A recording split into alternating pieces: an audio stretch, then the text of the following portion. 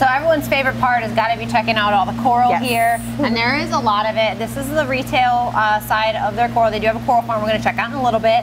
So tell me kind of the layout and what we have going on here. So we do have um, six independent systems. We do kind of run the parameters, kind of depending on what type of coral we're keeping in there. Um, like this one right here is going to be a lot of bigger colonies, mostly LPS. Um, we do have a lovely gem tang in here as well, but our bigger Ghanies, Cynarinas, Lobos, Trachees. This is our um, frag bar section over here. So this is kind of going to be like where some of the beginner friendly stuff is, smaller frags, stuff we grow a lot of really quickly so we can pass the savings down to you guys.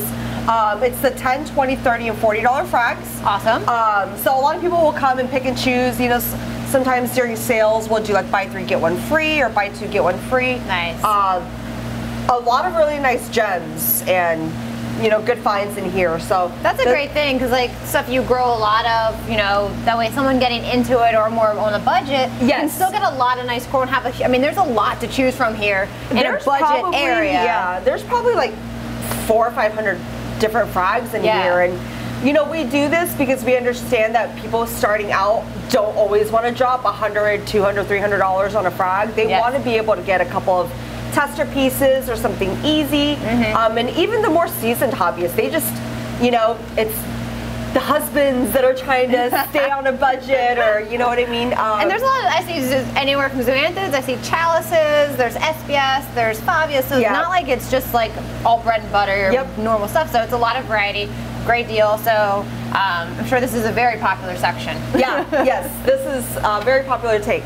Um, and then down over here, we're going to have um, another big LPS system. It's mostly colonies, so trachees, lobos, acan colonies. Nice Um, acans. We do have some really nice blue maxima clams in here right now too. Um, Symphyllias, everybody's favorite tank, all the Euphyllia, torches, frog spawns, hammers. Um, we've got some really nice orange torches, um, some really Yeah, nice everyone green loves hammers. the Euphyllia family. Torches, hammers, frog spawns. They're flowy. Yeah. They have a lot of color. They're awesome. Um, I do have to stop because I haven't seen one of these before. Little mini red carpets. They're Yes. adorable. They don't really get any bigger than that. Yeah, perfect for nano tanks. They add a really nice pop of color. They're just a true red in this hobby, which you don't find very Right. often. Um, and they're just so cute. I Like know. they're like little stop. pillows. I was like, "What is this?" And they're really, really cool yeah, looking. those guys are super cool. Got some more frags here. Yep, so mostly Zoas. We do have some trumpets, so you know we just we grow those things so fast, so we just threw them in there. Um, this section is going to be more of like some of the higher end collector stuff, uh, Blastos, collector Favias, chalices.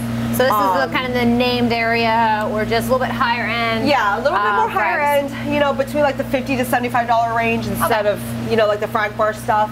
But some really nice collector chalices, um, like some orange crushes, space invaders.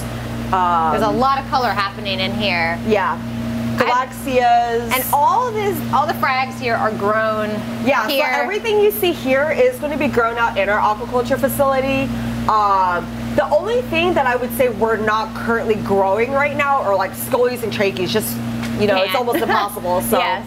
so um, basically, I mean, you're you're running, I'd say, eighty percent probably aquaculture 80 here. percent aquaculture. That's yeah. amazing. You know, we Yeah. always are talking about aquaculture and how it benefits the environment and trying to go as much aquaculture as possible between fish and coral. Mm-hmm. Yeah. So seeing something that's this full of coral and almost all of it being grown here at your farm is really awesome.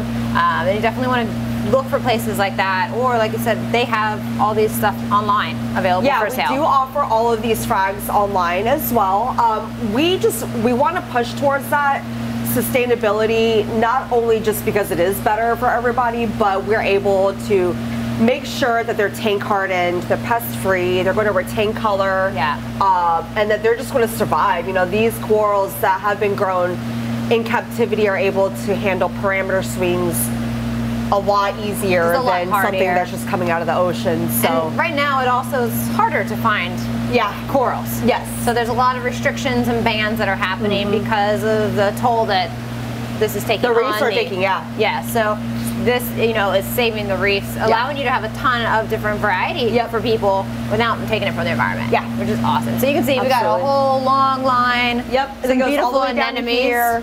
Um, these are our. They're not, you know, they're rose bubble tips, but they're just not your ordinary rose bubble tips. They're just incredibly bright. They're very, very Um, one of our little Da Vinci's is hosting, can or see the close them up is here. hosting the clown. Yeah, there's a little guy right there. They're beautiful. Um, some acans, um, some encrusting corals, cyphastreas, clove polyps. What a great And then- selection yep. everywhere. And then this is kind of just our um, almost stepchild tank right now. We need to get everything.